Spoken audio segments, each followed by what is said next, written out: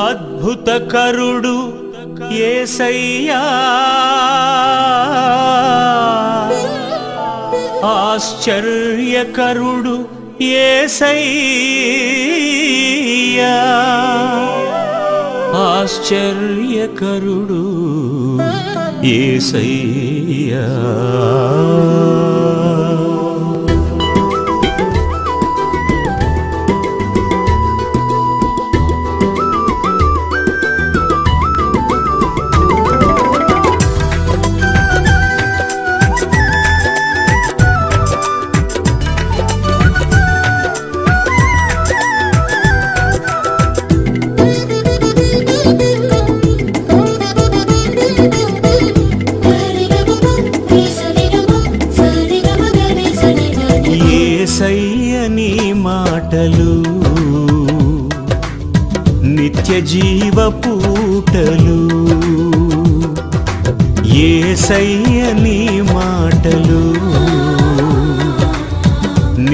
జీవపూటలు జీవ వినుట వలన విశ్వాసం నిరీక్షింపజేయును.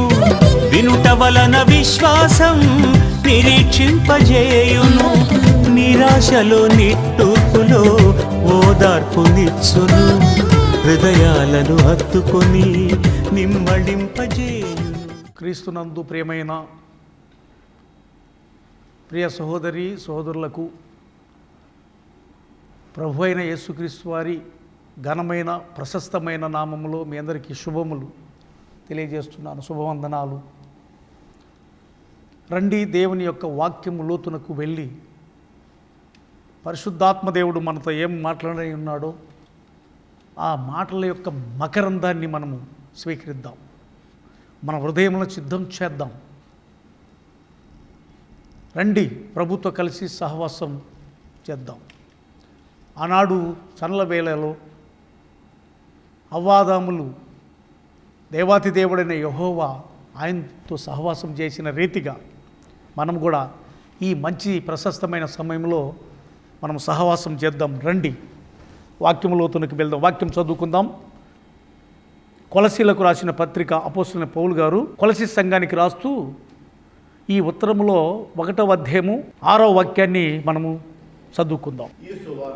ఈ సువార్త సర్వలోకములో ఫలించుచు సర్వలోకములో ఫలించుచు వ్యాపించుచున్నట్లుగా వ్యాపించుచున్నట్లుగా మీరు దేవుని కృపను గూర్చి విని దేవుని కృపను గూర్చి విని సత్యముగా గ్రహించిన నాటి నుండి సత్యముగా గ్రహించిన నాటి నుండి మీలో సైతము మీలో సహితము ఫలించుచు ఫలించుచు వ్యాపించుచున్నది. వ్యాపించుచున్నది.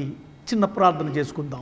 మహోన్నతుడమైన ఓ తండ్రి మమ్మల్ని మిక్కిలిగా ప్రేమిస్తున్న ప్రియ తండ్రి స్తోత్రములు. ఈ ప్రశస్తమైన సమయంలో పరిశుద్ధాత్మ దేవుడా మమ్మలను సర్వసత్యములకు నడిపించండి.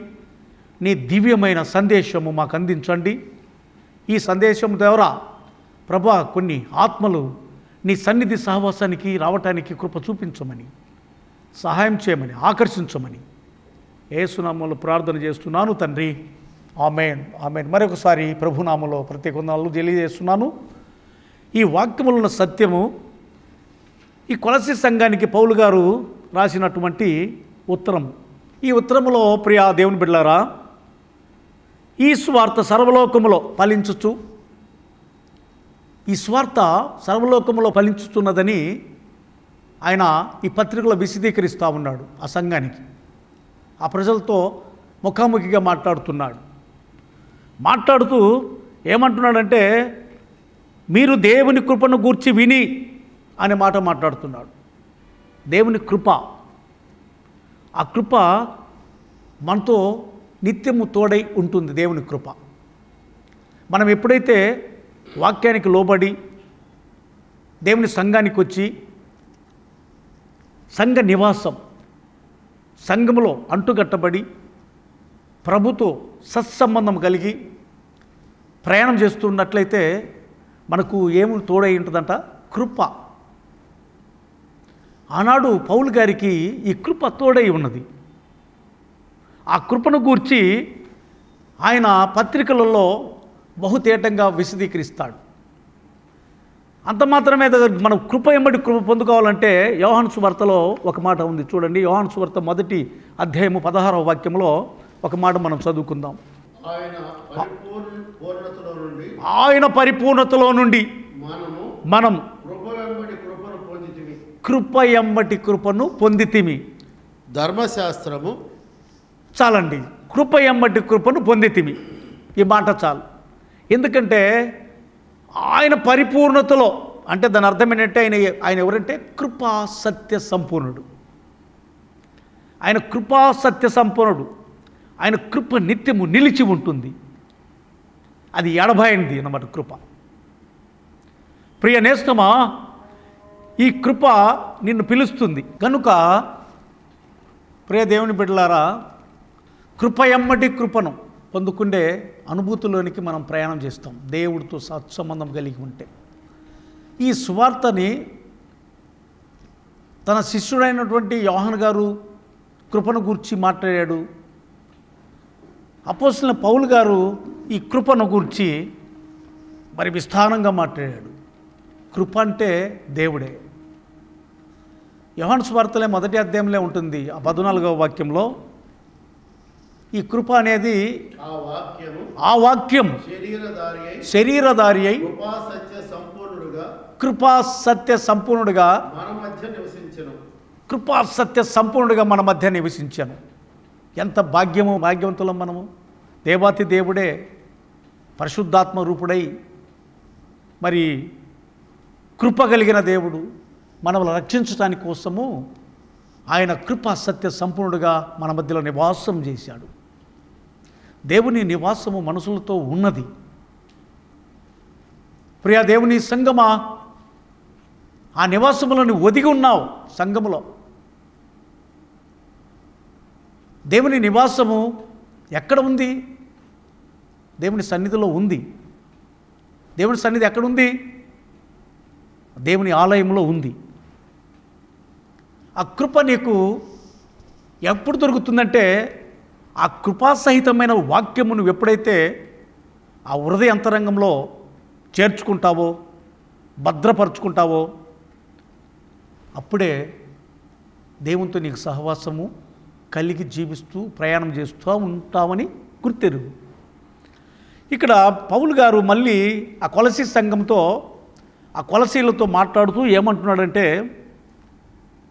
పన్నెండవ వాక్యంలో మనం చదువుకున్నట్లయితే అందుచేత అందుచేత ఈ సంగతులు వినునాటి నుండి ఈ సంగతులు వినిన నాటి నుండి మేమును మేమును మీ నిమిత్తం ప్రార్థన చేయటం మీ మానక, నిమిత్తము ప్రార్థన చేయటం మానక మీరు సంపూర్ణ జ్ఞానమును మీరు సంపూర్ణ జ్ఞానమును ఆత్మ సంబంధమైన వివేకమును గలవారును సంబంధమైన వివేకం గలవారును ఆయన చిత్తమును పరిపూర్ణముగా గ్రహించిన వారునై పూర్ణముగా గ్రహించిన వారినై ప్రతి సత్కార్యములో ప్రతి సత్కార్యములో సఫలులగుసు సఫలుల గొలుసు దేవుని విషయమైన దేవుని విషయమైన జ్ఞానమందు అభివృద్ధి జ్ఞానమందు అభివృద్ధి పొందుచు. అన్ని విషయములలో అన్ని విషయములలో ప్రభువును సంతోషపెట్టునట్లు. ప్రభుని సంతోషపెట్టినట్లు. ఆయనకు తగినట్లుగా ఆయనకు నడుచుకునవలన తగినట్టుగా నడుచుకున్న వలననియు. ఆనందముతో కూడిన ఆనందముతో కూడిన పూర్ణ ఓర్పును పూర్ణమైన ఓర్పును దీర్ఘశాంతమును దీర్ఘ శాంతమును కనపరుచున్నట్లు కనపరచునట్లు ఆయన మహిమా శక్తిని బట్టి ఆయన మహిమా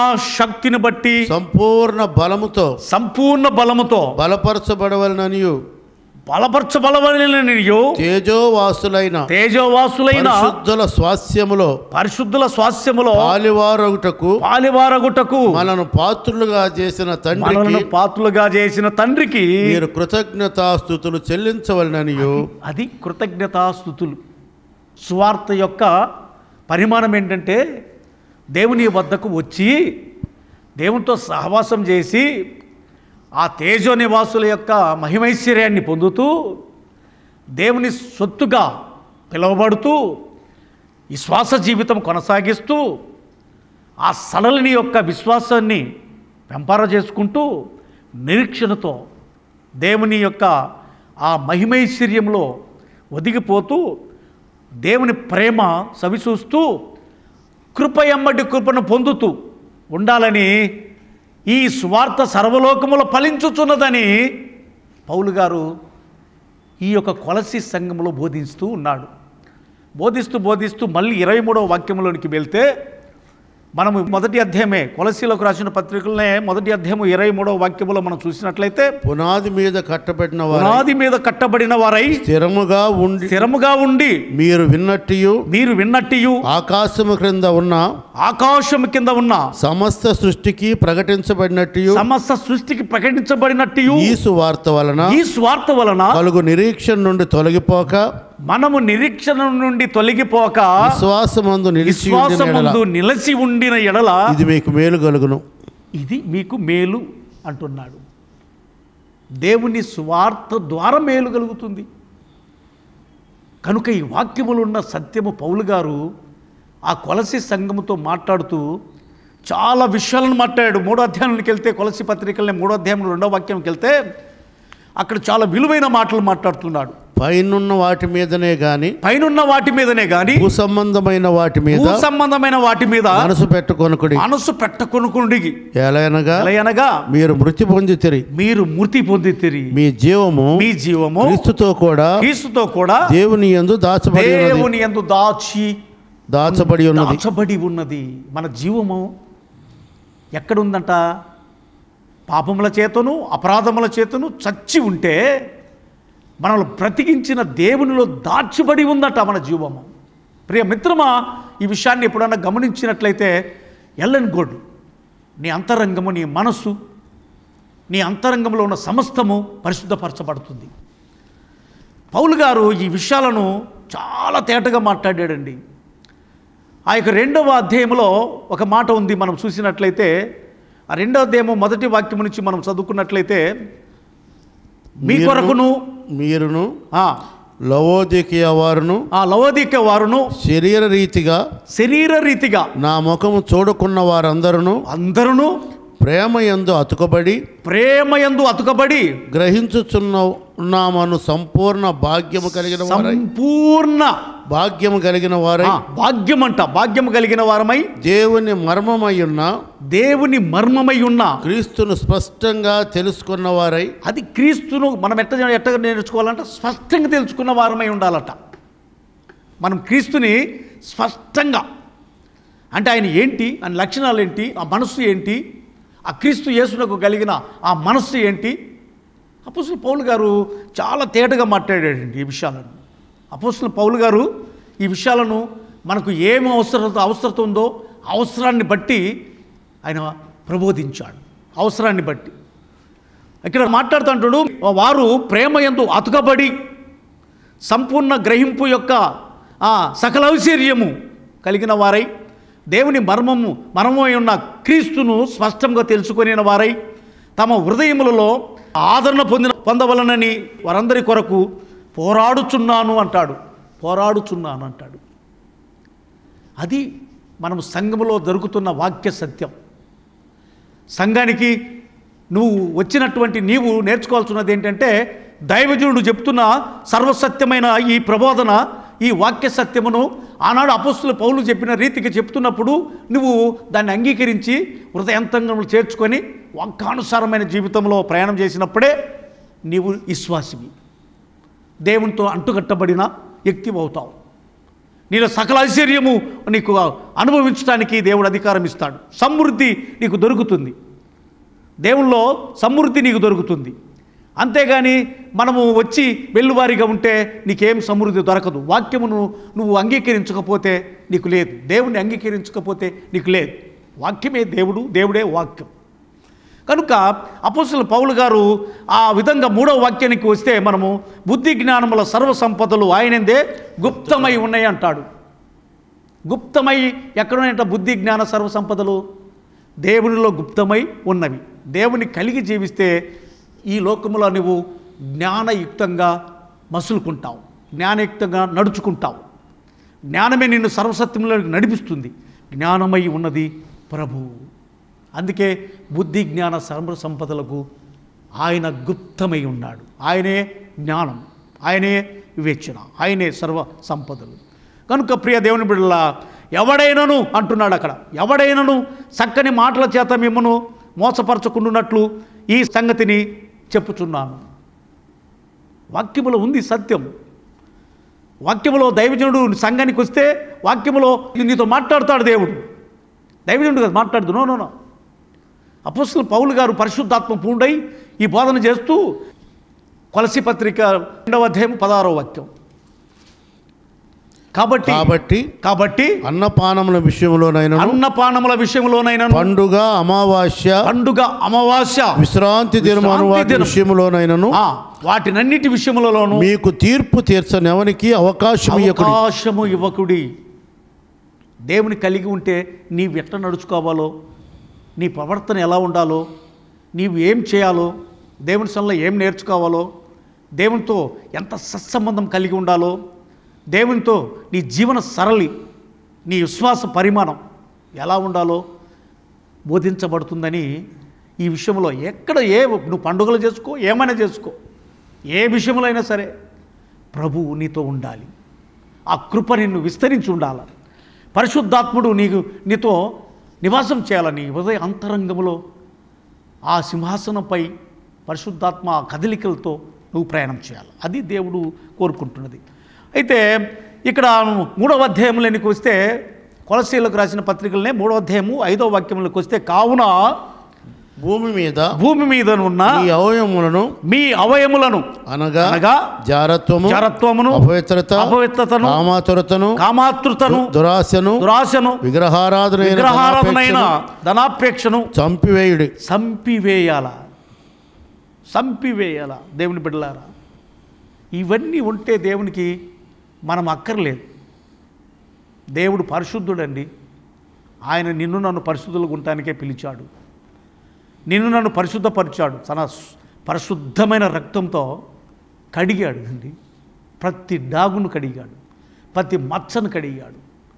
నిన్ను నీవు మోయలేవని ఆయన శిలువ బ్రావున్ మీద నీ పాప భారము మోశాడు.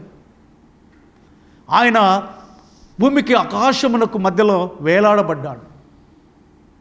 దేవునికి నీకు మధ్య గోడ ఉన్న గోడను చీల్చిపడవేశాడు నీకు డైరెక్ట్ చేశాడండి దేవుడు. ఆయన దగ్గరికి ముఖాముఖిగా వెళ్తానికి ఆయన సన్నిధిలో నీవు జీవించటానికి ఆ సహవాసము నీకు ఇచ్చాడండి. ఇంకా నీవు ఈ భూలోక సంబంధమైన విషయాలపై ఆశలు అవన్నీ విసర్జించు మిత్రమా? దేవుడు నిన్ను పిలుచుచున్నాడు. తన పలియమైన రెక్కల నీళ్ళలోనికి ఆహ్వానిస్తున్నాడు.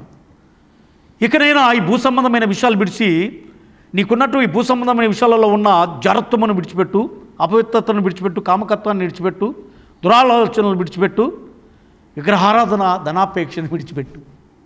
విడిచిపెట్టి ప్రభుతో ప్రయాణం చేయి. ప్రభు నిన్ను బ్లెస్ చేస్తాడు. ప్రభు నిన్ను దీవిస్తాడు. సమృద్ధి పదములోనికి నడిపిస్తాడు.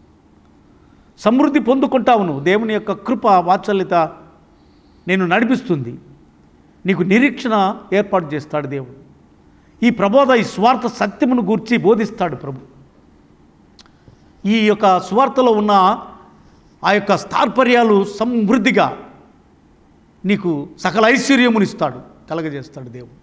కనుక క్రీస్తునందు ప్రియ దేవుని బిడ్డలారా ఈ మంచి సలని వేళలో మన హృదయంతరంగములతో పరిశుద్ధాత్మదేవుడు మాట్లాడేటప్పుడు ఆ మాటలను ఆ మకరందాన్ని ఆ జుంటు తేనె ధరల కంటే మధురమైన ఈ వాక్య లేఖన సత్యాన్ని నిజంగా మనం గైకొన్నట్లయితే దేవుడితో మనం ప్రయాణం చేయగలం. ఈ కొలసీయ పత్రికలనే అపోస్తుల పౌలు గారు మూడవ అధ్యాయంలో తొమ్మిదవ వాక్యాన్ని ఒకసారి మనం చదువుకుందాం చూడండి. ఒకనితో ఒకడు ఒకరితో ఒకడు అబద్ధమాడకుడి. అబద్ధమాడకుడి. ఏలయనగా ఏలయనగా ప్రాచీన స్వభావం ప్రాచీన స్వభావమును దాని క్రియలతో దాని క్రియలతో కూడా మీరు పరిచ్ఛేదించి ఆ పరిత్యాజించి కలుగు- నిమిత్తము జ్ఞానము కలుగు నిమిత్తము దాన్ని సృష్టించిన పోలిక సృష్టించిన వాని పోలిక చొప్పున నూతన పరచబడుచున్న నూతన పరచబడుచున్న నవీన స్వభావమును ధరించుకుని నవీన. స్వభావము ధరించుకునుడి. పౌలు గారు చాలా జ్ఞాని అండి. విపరీతమైన జ్ఞాని. మనకు ఈ నవీన స్వభావం ఎప్పుడు వస్తుందంటే మనకున్నటువంటి టన్నిని పరిత్యజించాలి. మన నుంచి తీసి పడవేసుకోవాలి. విడిచిపెట్టాలి. అప్పుడే మనకు మనలో నూతన స్వభావం ఏర్పడుతుంది. నూతన ఆత్మ ప్రజ్వలింపబడుతుంది. ఆ నూతన ఆత్మ ఎప్పుడైతే ప్రజ్వలింపబడుతుందో మనలోంచి క్రొత్త క్రొత్త విషయాలు మన జీవితం క్రొత్త మలుపులు తిరుగుతూ ఉంటుంది. మనము దేవునిలో ఎలా వెదగాలి? ఆయనలో ఎట్లా అంటుకట్టబడాలి? ఆయన జీవన నడక ఏంటి? ఆయన అడుగుజాడలు ఏంటి విషయాలన్నీ పరిశుద్ధాత్మ దేవుడు నడిపిస్తూ ఉంటాడు. అది పరిశుద్ధాత్మ దేవుడు చేసే పని. అయితే ప్రియ దేవుని బిడ్డలారా ఇక్కడ గమనించినట్లయితే ఒకసారి మన మాటలు కూడా ఎలా ఉండాలో ఇక్కడ అపోసులు పౌలు గారు నాలుగో అధ్యాయం కొలసీలకు రాసిన పత్రికలని నాలుగో అధ్యాయం ఆరో వాక్యంలో మన మాటలు ఎలా ఉండాలో ఇక్కడ ఆయన మరి ప్రబోధిస్తూ ఉన్నాడు చూడండి. ప్రతి మనుషునికి ప్రతి మనుషునికి ఎలాగు ప్రత్యుత్తరం ఎలాగ ప్రత్యుత్తరం ఇవ్వవలనో అది మీకు తెలుసుకొనుటకై అది మీరు తెలుసుకొనుటకై మీ సంభాషణ మీ సంభాషణ ఉప్పు వేసినట్లు ఉప్పు వేసినట్లు ఎల్లప్పుడూ ఎల్లప్పుడూ రుచిగలదిగాను రుచిగలదిగాను కృపాసహితముగాను కృపాసహితముగాను ఉండనీయుడి. ఉండని ఉడి మన మాట ఎలా ఉండాలి? మనము మాట్లాడేటప్పుడు ఎదటి వ్యక్తిని ఏదో ప్రభావం పెట్టి మాట్లాడకూడదు. ఏదో పెట్టి మాట్లాడకూడదు. మన మాట మాట్లాడేటప్పుడు దేవుని మాట చాలా విలువ కలిగిన మాట కాబట్టి దేవునితో సహవాసం చాలా సత్సంబంధమైనది కాబట్టి మన మాట సంభాషణ ఎవరో మెప్పు కోసమని ఎవరో ఘనత కోసమని ఎవరినో మనసులో మెప్పు మెప్పించాలని ఉండకూడదు. మన మాట ఉంటే ఉప్పు వేసినట్టుగా ఉండాల? అంటే దాని అర్థం ఏంటంటే దేవుని వాక్యమై ఉండాలి. దేవుని వాక్యము ఉప్పు లాంటిది. దేవుని వాక్యమే ఉప్పు లాంటిది. ఆ ఉప్పుగా ఉండాలి. మనము మాట్లాడే ప్రతి సంభాషణ ఉప్పు వేసినట్టుగా రుచికలదై కృపాసహితముగా ఉండాలి. ఉండని ఉడి అంటున్నాడు అపోసుల పౌలు గారు. కనుక ప్రియా దేవుని ప్రియ సహోదరులారా ప్రియ సహోదరులారా మన సంభాషణ ఎట్లా ఉంది? ఎదటి వ్యక్తినికి హాని చేసి తట్టుకుందా? ఎదటి వ్యక్తితో దేవుని వైపు మళ్ళించి వారిగా మనము తీర్చిదిద్దబడ్డామా?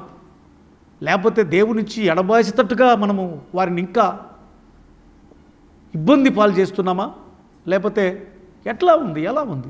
కనుక ఈ విషయాలన్నీ అపోసుల పౌలు గారు వారి కొరకు ప్రార్థన కూడా చేశాడు. ఒకసారి మనం చూసినట్లయితే నాలుగవ అధ్యాయం రెండవ వాక్యంలో ఒకసారి మనం గమనించినట్లయితే ప్రార్థన ఎందు నిలకడగా ఉండి ప్రార్థన ఎందు నిలకడగా ఉండి కృతజ్ఞత గలవారై కృతజ్ఞత గలవారై దాని ఎందు దాని యందు మెలకువగా ఉండి మెలకుగా ఉండుడి. మరియు మరియు నేను బంధకములలో నేను బంధకములలో ఉంచబడుటకు ఉంచబడుటకు కారణమైన కారణమైన క్రీస్తు మర్మమును క్రీస్తు మర్మమును గూర్చి నేను బోధింపవలసిన విధముగానే బోధింపవలసిన విధముగానే ఆ మర్మమును ఆ మర్మమును వెల్లడిపరుచున్నట్లు వాక్యము చెప్పుటకు వాక్యము చెప్పుటకు అనుకూల సమైన అనుకూలమైన సమయం. సమయము దేవుడు దయచేయవలనని దేవుడు దయచేయవలనని మా కొరకును కొరకును ప్రార్థించుడి ప్రార్థించుడి. చూశారండి? వాక్యం అంగీకరించిన బిడ్డలను కూడా హైలైట్ చేస్తూ ఉన్నాడు పౌలు గారు. మీరు నా మా కొరకు ప్రార్థన చేయండి. తగిన రీతిగా తగిన సమయము మాకు రావాలి. దేవుని వాక్యాన్ని మేము బోధించాలి. కొన్ని ఆత్మలు రక్షింపబడతారు చేయాలి. ఆత్మల రక్షణ భారం కలిగి మేము ప్రయాణం చేయాలి. మా ప్రయాణాల కొరకు మా యొక్క ఎక్కడ ప్రయాణం చేసినా అక్కడ పరిశుద్ధాత్మ మమ్మల్ని సంధించి దివ్యమైన సందేశం అందించేటట్టుగా మీ ప్రార్థనల ఎందు మమ్మలను జ్ఞాపకం చేసుకోమంటున్నాడు. మా కొరకు ప్రార్థించుడి అంటున్నాడు. సమయం పోనీయొద్దు అంటున్నాడు సద్వినియోగపరచుకోమంటున్నాడు. కనుక ప్రియ దేవుని బిడ్డలారా సమయము చాలా సంకుచితమై ఉంది చాలా జాగ్రత్త అండి. ఇప్పుడు లోకములో మనం చూస్తుంటే మనకు అన్నీ తెలియబడుతున్నాయి. లోకం నుంచి బయటికి ఎడలిపోయిన వ్యక్తి తిరిగి వచ్చేది నమ్మకం తక్కువ. ఇప్పుడు ఈ మధ్య అనేక వాటికి నమ్మకం ఇస్తున్నారు గ్యారంటీలు ఇస్తున్నారు. కానీ మనుషుడికి ఎవరైనా గ్యారంటీ ఇచ్చే వాళ్ళు ఉన్నారేమో ఒకసారి పరిశీలించండి. నా దేవుడు ఒక్కడే ఇస్తున్నాడు గ్యారంటీ. నీ జీవము ఆయనది కాబట్టి ఆయనే కాపాడుకుంటూ సంరక్షణ చేసుకుంటూ నువ్వు ఎక్కడి తిరిగినా ఏ ప్రాంతానికి వెళ్ళినా ఏ పనికిమాల పని చేసినా నిన్ను క్షేమంగా ఇంటికి చేరుస్తూ ఉన్నాడు. కనుక అందుకనే ఈ వాక్య మూల వాక్యంలో ఈ స్వార్థ ఎలాంటిదంట? చూడండి ఈ స్వార్థ ఎలాంటిది? మనము మూల వాక్యాన్ని చదువుకుందాం. చూడండి కొలసీలకు రాసిన పత్రిక మొదటి అధ్యాయము ఆరో వాక్యం. ఈ స్వార్థ సర్వలోకములో పాలించొచ్చు వ్యాపించున్నట్లుగా వ్యాపించుచున్నట్లుగా మీరు దేవుని కృపను గురించి మీరు దేవుని కృపను గూర్చి విని సత్యముగా నాటి నుండి గ్రహించిన నాట నుండి మీలో సైతము నీలో సహితము ఫలించుచు ఫలించు వ్యాపించుచున్నది. వ్యాపించుచున్నది. కృపాసహితం కృపాసహితమైన వాక్యం ఇది. ఎవరిని నొప్పించే వాక్యం కాదు. ఎప్పు ఎవరిని బలవంతం చేసే వాక్యం కాదు. కృపాసహితమైన వాక్యం. దయా దాక్షిణ్యములతో కూడినటువంటి దేవుని సందేశం. దీని కాడికి వచ్చి ఏ వ్యక్తి అయితే వింటాడో ఏ వ్యక్తి హృదయంలో ఈ వాక్యము నివాసం చేస్తుందో ఆ వ్యక్తి దీర్ఘశాంతపరుడవుతాడు. అతనిలో జాలి దయ కరుణ ఎన్ని దేవుని గుణాతిశయములు అతనిలో ఇమిడిపోయి ఉంటాయి. కనుక ప్రియా మిత్రమా నా ప్రియ సహోదరి సహోదరులారా ఈ వాక్య సందేశం వింటున్న నా ప్రియ దేవుని సొత్తైన ప్రజలారా ఈ వాక్యములలో సత్యములు చాలా ఇలువైనవి ఈ ఇలువైన వాక్యమును మీరు అంగీకరించండి. అయితే ఈ వాక్యములో ఒక వాక్యము చూసినట్లయితే మన కొలసీలకు రాసిన పత్రికలో మొదటి అధ్యాయం పదిహేనవ వాక్యాన్ని ఒకసారి మనము చదువుకుందాం. ఆయన అదృశ్య దేవుని స్వరూపి అదృష్ట దేవుని స్వరూపి అయి స్వరూపి అయి సర్వ సృష్టికి సర్వ సృష్టికి ఆది సంభూతుడై ఆది. సంభూతుడై ఉన్నాడు ఏలయనగా ఎలయనగా ఆకాశమందున్నవియు ఆకాశమందున్నవనియు భూమి ఎందున్నవి? భూమి అందున్నవియు దృశ్యమైనవి గాని, దృశ్యమైనవి గాని అదృశ్యమైనవి గాని అదృష్టమైనవి గాని సింహాసనములైనను అవి సింహాసములైన ప్రభుత్వములైనను ప్రభుత్వములైనను ప్రధానులైనను, ప్రధానులైనను అధికారములైనను, అధికారులైనను సర్వమును సర్వమును ఆయన యందు ఆయన యందు సృష్టింపబడే సర్వమును సర్వమును ఆయన ద్వారా ఆయన ద్వారాను ఆయన్ను బట్టి ఆయన బట్టి సృజించబడిను సృజింపబడెను సృజించబడిన అన్ని ఇప్పుడు ప్రభుత్వాలు కానీ అధికారులు కానీ ఎవరిని సృజించినా ఆ ఆది సంభూతుడైన సర్వసృష్టికర్త సమస్తమును సృష్టించాడండి. ఆయన లేకుండా కలిగి ఉన్నది ఏది లేదండి. కనుక ప్రియ దేవుని బిళ్ళారా ఈ ప్రశస్తమైన సమయంలో ప్రభుత్వాలు ఏర్పడిన దేవుని కృప. ఏ అధికారం నీకు వచ్చిన దేవుని కృపే. నీకేమి కలిగి ఉన్న దేవుని కృపే. ఆ కృప ఎమ్మటి కృప దేవుడు విస్తరింపజేస్తున్నాడు. అది మరువుక మర్చిపోక. ఎప్పుడు దేవుని అడుగుజాల్లో నడిచే విధానం నేర్చుకో. దేవుని స్వార్థ నీ దగ్గరికి వచ్చినప్పుడు అంగీకరించు. దేవుని సేవకులు నీ దగ్గరికి వచ్చినప్పుడు వారికి పరిచయం నీకు బ్లెస్సింగ్ కనుక ఈ సర్వసత్యము ఈ సకల సువార్త పరిచయలో నువ్వు పాలిభాగస్తుడవు దేవునితో కలిసి ప్రయాణం చేయి. నీకు నీ కుటుంబానికి ఎంతైనా ఆశీర్వాదం ఎంతైనా దీవెన ఎంతైనా దేవుడు నిన్ను నీ పిల్లలను ఉన్నతమైన శిఖరాలపై కూర్చుండబెడతాడు. ఆయన బల్ల చుట్టూ ఒలివ మొక్కల వలె నిన్ను ఉంచుతాడు సంగములు గనులుగా చేస్తాడు. ఉన్నతమైన శిఖరాలపై అలా కూర్చుండబెడతాడు. సర్వసత్యములనికి నడిపిస్తాడు. సువార్తని విను ఈ వాక్య సత్యములను అంగీకరించు విశ్వాస జీవితం పెంచుకో దేవుని అడుగుజాల్లో ప్రయాణం చేయి. దేవుడి మాటలను మన నిక్కుల్లో దీవించి ఆశీర్వదించునుగాక. ప్రార్థన చేసుకుందాం. తల్లు వంచండి కనులు మేయండి. ప్రార్థన. మహాగణుడమైన తండ్రి నీకే స్తోత్రములు వందనాలు. ఈ ప్రశస్తమైన సమయంలో నాయనా మీరు మాతో మాట్లాడిన శ్రేష్టమైన వాక్కులకై మేము శృతిస్తున్నాం మీ మెల్లని స్వరం వినిపించినందుకు కృతజ్ఞతలు. వినగలిగిన హృదయాన్ని మాకు ఇచ్చినందుకు కృతజ్ఞతలు. ఈ వాక్యము ద్వారా మేము తెప్పరిల్లబడి నీ వైపు తిరిగి నాయన నీతో ప్రయాణం చేసే కృప కృప ఎమ్మడి కృపను మాకు దయచేయండి కృప చూపించమని. ఈ వాక్యముని విన్న నీ ప్రియ బిడ్డలందరినీ ఆశీర్వాదంగా మార్చండి. వారి కుటుంబాలను దీవించమని. ఏసునామమున ప్రార్థన చేస్తున్నాను తండ్రి. ఆమె ఆమె మన తండ్రి అయిన దేవుని నుండి కుమారుడైన యేసుక్రీస్తు ప్రభుల వారి నుండి పరిశుద్ధాత్మ దేవుని అన్యున్న సహవాసం సన్నిధి మనకును సకల పరిశుద్ధులకును సదాకాలము తోడై ఉండునుగాక. Amen amen amen. God bless ఇవ్వండి మీ అందరికీ వందనాలు.